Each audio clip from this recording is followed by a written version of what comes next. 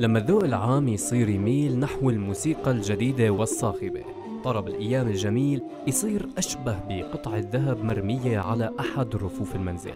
وقتها بتبقى مسؤولية رواد الثقافة والفن بالمجتمع إنه يذكروا الجمهور بحلاوة وطعم هالفن العتيق. لهيك كانت أمسية تراثنا تبرنا بالمركز الثقافي بالعدوي لتعيد الجمهور لطرب الماضي الجميل.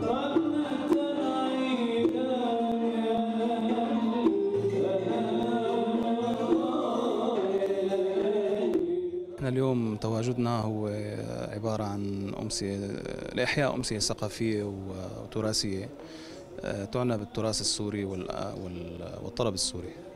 يعني والشامي والحلبي بحد ذاته يعني. هلأ طبعا لازم نحن نضل نعيد تراثنا ونغنيه يعني مشان نضل الأجيال آه، يعني تعرف إنه نحن عندنا تراث عريق وجميل ورائع يعني. إحنا انتهينا لهي الأمسية بالتعاون مع المركز الثقافي بالعدوي ومعنا مشاركه آه، مجموعة من الموسيقيين ومع مطربنا اليوم إن شاء الله ربيع ربيع إبراهيم. رح نقدم نوع من الأغاني التراثية والأغاني القديمة المعروفة يعني. وإن شاء الله بتنالك إعجاب الجماهير لا على الأقل للجيل الجديد اللي طالع نعرفهم نحن بتراثنا القديم نعرفهم بهي الأغاني اللي إحنا تربينا عليها. فنتمنى يكون في تظاهرات أكثر من هيك يعني. طبعا هذه الامسيه آه، بعنوان تراثنا تبرنا.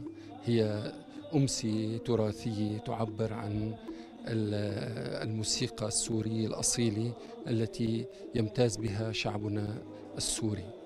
هذه آه، الأمسية تعبر عن الأصالة في الموسيقى تعيدنا إلى ماضينا العريق الذي آه، نحن إليه دائما.